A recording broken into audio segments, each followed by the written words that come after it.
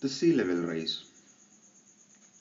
I want you to watch the small video from AGU fall meeting. Here so we know when the annuals are.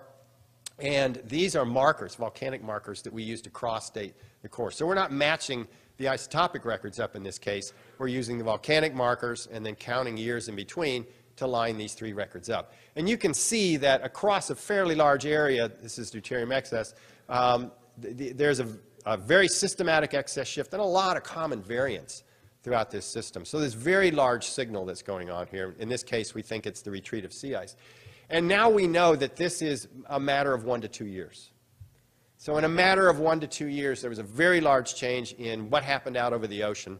As I said, the only thing we can think of that happens that fast is a change in the uh, sea ice extents. And that's happening, and it's not just a question of human lifetimes, it's not just a question of decades. It's, as I tell my students now, it's less time than it takes to get through college. Um, the other point I noted here was that, so it's not just uh, deuterium excess, but uh, I noted that the deuterium, which is a proxy for temperature, changed in about a human lifetime.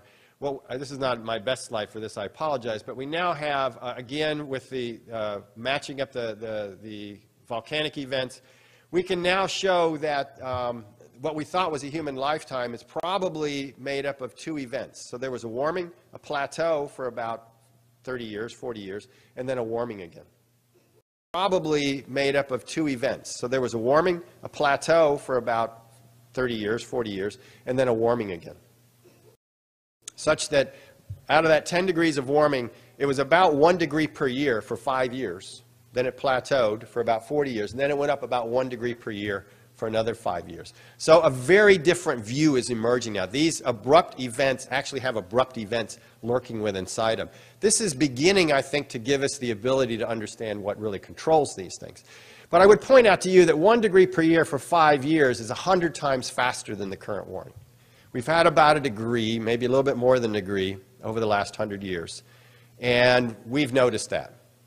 Imagine something that was even 100 times faster than that. This would very, very clearly, one degree per year would be something you would absolutely notice. And it's happened many times in Earth's history.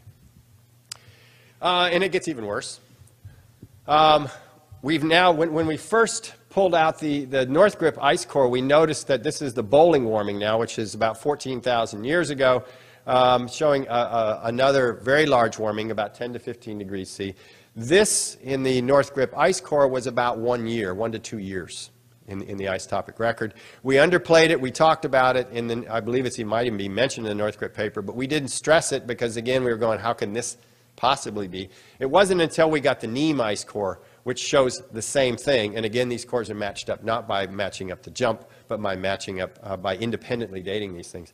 Uh, but we now know that in northern Greenland, this is not true for southern Greenland, but in northern Greenland, there must have been some threshold in which the, the atmospheric circulation got to some point and then bam, it changed. Such that you got about a 10 degree change in mean annual temperature in northern Greenland happening in about one to two years.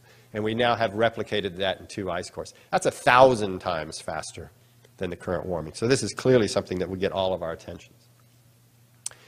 I would point out that uh, abrupt change is not just something that occurred in the past.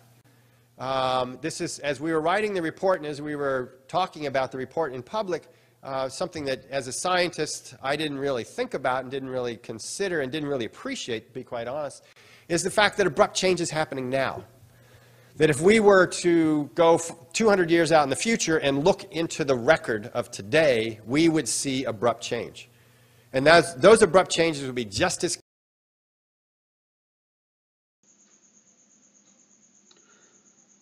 The Tuvalu Islands, the Marshall Islands, are on the verge of submerging. And Bangladesh is at very high risk. And India is at very high risk because of the flood of refugees from Bangladesh due to sea level rise. And we are also sure that all the sea ice will melt everything is already in the pipeline. So it is just a matter of time. All the glaciers and ice caps are going to melt.